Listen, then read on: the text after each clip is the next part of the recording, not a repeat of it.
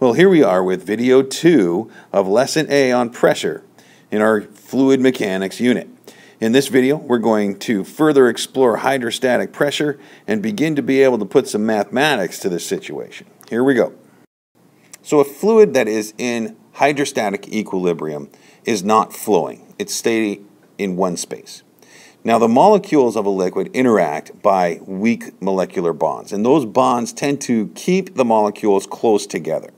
So if we were to take a look at just a cylinder of liquid in a in hydrostatic equilibrium, this volume of fluid tends to stay in that spot. Now, this volume of fluid also has a weight. Now, it's that weight that is responsible for the pressure in a liquid. So, pressure increases with depth in a liquid because the, the liquid below is being squeezed by all the liquid above including any other liquid that's above it or any air that's above it pressing down on it from above. So whatever's above the liquid pushes down on the top of the cylinder. This cylinder of liquid then is in uh, static equilibrium. The liquid on each side of the cylinder pushes with equal amount of force. Okay, so these two forces here pushing in, the pressure pushes at all points, but these two forces here, because they're at equal depth, are going to be pressing with the same amount of force. The liquid beneath pushes up on the cylinder, and the pressure down here is greater than the pressure up here.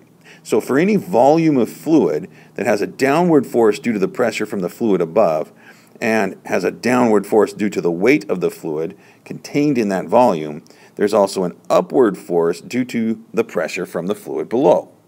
Because the pressure from below is greater than the pressure from above, our net force is zero. And we know from the pressure equation that we introduced in the first video that the, the downward force then is equal to the pressure at that point times the area at that point.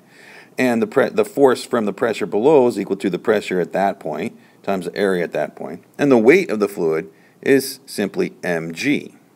Now, because these horizontal forces cancel out, we can say then that the force at the base of that volume of fluid is equal to the force pushing down on that volume of fluid plus mg.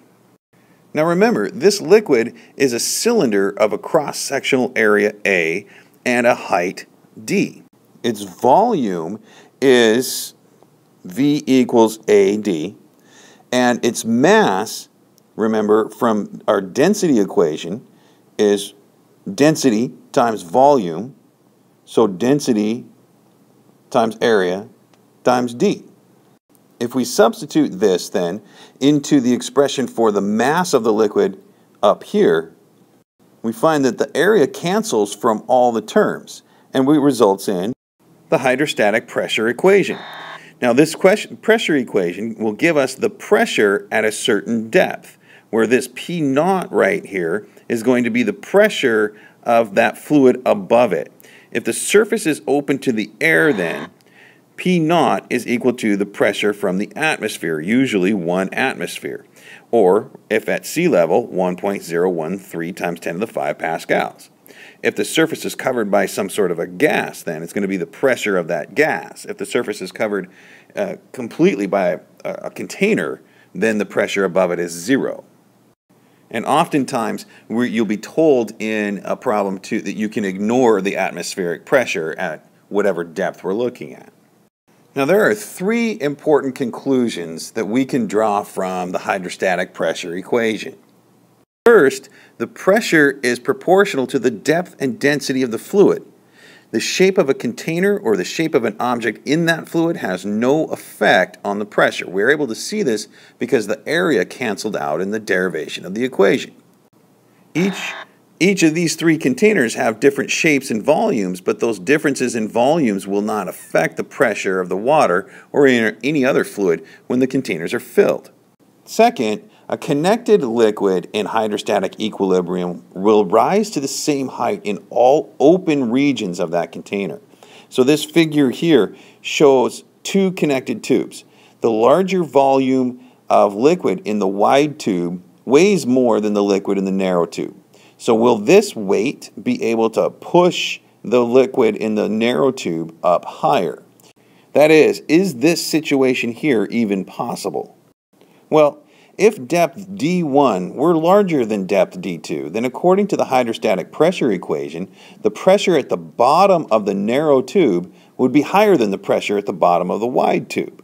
Anytime there's a pressure difference, fluid will flow. So this pressure difference would cause the liquid in, to flow from right to left until all the heights were equal. Therefore, a connected liquid in hydrostatic equilibrium rises to the same height in all open regions of the container. And third, the pressure is the same at all points on a horizontal line through a connected liquid in hydrostatic equilibrium. So in this picture here, the conical tube holds more liquid above the dotted line and therefore has a greater weight. So is pressure 1 at this point greater than pressure 2 at this point? Well, to answer that, we have to think about the pressure at the bottom of the tubes. If pressure 1 were larger than pressure 2, the pressure at the bottom of the left tube then would be larger than the pressure at the bottom of the right tube. This would cause the liquid to flow until the pressures were equal. Therefore, the pressure is the same at all points on a horizontal line through a connected liquid in hydrostatic equilibrium. Then to summarize all this then, if we had this container here and we filled it with water and each of these spots, 1, 2, and 3, are open to the air, okay, water will rise to the same height in all three sections, have the same pressure at all equal horizontal points, and that pressure would be exerted on the sides of the containers would be the same. Now these three points are really the kind of the standard conditions for hydrostatic equilibrium. But there is also one more important conclusion that we can draw from this. If we were to change the pressure at the surface to P1, some other pressure at depth D, then our hydrostatic pressure equation, we have to include that initial pressure. The change in pressure then is the same at all points in the fluid, independent of the size or shape of the container. To get a good understanding of this, think about the way forces act on solid objects. The way a force acts on a solid is different than the way it acts on a fluid. Since a solid's rigid, the force doesn't change its shape. It mostly tries to move the object. A liquid can't sustain a force in that way. If you push on water, say in, in a, you fill up a bucket full of water and you try to push on the water, you make a splash. You make the water flow. If the fluid is restrained so that it can't flow and a force is acted on it, the force will increase the internal pressure of that fluid. The pressure exerted on a fluid in a closed vessel is transmitted throughout the fluid and pushes at right angles to all surfaces that it touches. This is called Pascal's principle, which says if the pressure at one point in an incompressible fluid is changed, the pressure at every other point in the fluid changes by the same amount. A really great practical example of Pascal's principle is hydraulic lifts. You see, the result of Pascal's principle can lead to a big increase of force. In this diagram here, a small force applied to the small area on the left will result in an increase of force on the area on the right. And that's because the change in pressure here has got to equal the change in pressure here. And this is a much greater area, so you're going to get a much bigger force. So pressure is exerted on a fluid, usually a small cylinder, on one side of a hydraulic lift can uh, so a relatively small force can lift a huge object like a car, truck, or whatever. Another really excellent example of the practical use of all this pressure stuff is a barometer. So a barometer is used to measure air pressure. The, to begin though, I want you to actually go do this little demonstration, okay? You go get yourself a bowl, fill it up with water, and then take a cup that can be submerged in that bowl Get that cup completely filled with water, invert the cup, and then lift it up so that you have water, a little water column inside that cup. The question is, why does this water stay in this cup? Why doesn't it flow out? So actually go pause the video and go do that. I'll wait here while you go, go do that demonstration. Now, the answer to this little dilemma has to do with pressure, which makes sense. That's what we're talking about. But the answer kind of comes in two parts. First, the weight of the atmosphere pushes down on the surface of the water. The water in the tub is confined, or the bowl is confined, so the pressure exerted on the surface is transmitted throughout that liquid.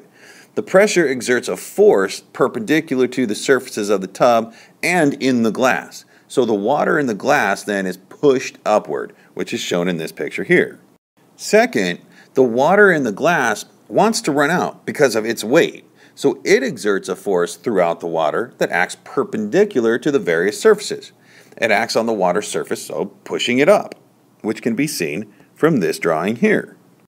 The result is that the two sets of forces cancel out. The water wants to run out of the glass and raise the surface of the tub, but the weight of the air pushes down, and that force is greater, so the water is pushed up into the glass. We end up with a static column of water in the glass. And this is essentially how a barometer works. In order to make ourselves a barometer, you can take a glass tube that's closed at one end and then fill the thing up with water. Now, barometers that you go and purchase are usually filled with mercury. We can't get mercury, but we can in class, and we will, make a barometer using water. Now, what you got to do is you got to plug up the open end and turn the thing upside down into that water. The open end, then, that's now on the bottom, is placed into a reservoir and the plug is removed the mercury or water will run out of the tube until the weight of that water is equal to the weight of the air column, which leaves us essentially with a vacuum in this space here. Now, as the atmospheric pressure changes, the level of water in the tube will increase or decrease. And we can use that information to tell us things about weather if it's an actual barometer. You know how when we hear about high pressure systems or low pressure systems, and when you have a high pressure system moving in, the weather's going to be sunny and warmer, and we have a low pressure system moving in that's going to get colder and wetter. Well, barometers respond to those changes in the atmospheric pressure, and that's how we use them to predict the weather. Well, that'll about do it for the uh, conceptual side of pressure. From here, we're going to look at buoyancy and the buoyant force. We'll see you in class.